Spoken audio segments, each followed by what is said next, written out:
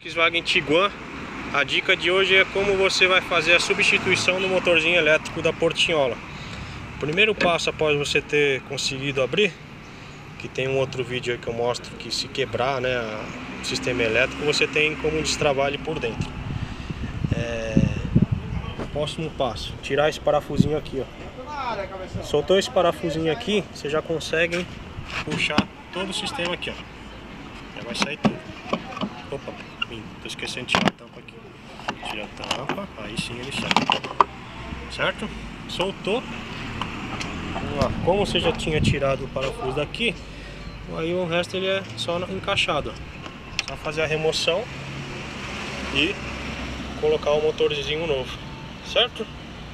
Aí faz o contrário, coloca o motorzinho novo, vai lá, pluga ele e monta outra vez de de novo no lugar.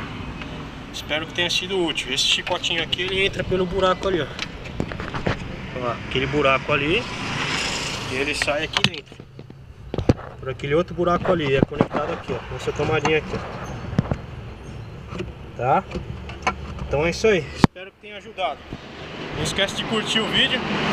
Toda semana tem vídeo novo aí. Se inscreve aí no canal e quiser entrar no nosso grupo do All App, tá na descrição do vídeo o link aí. Valeu!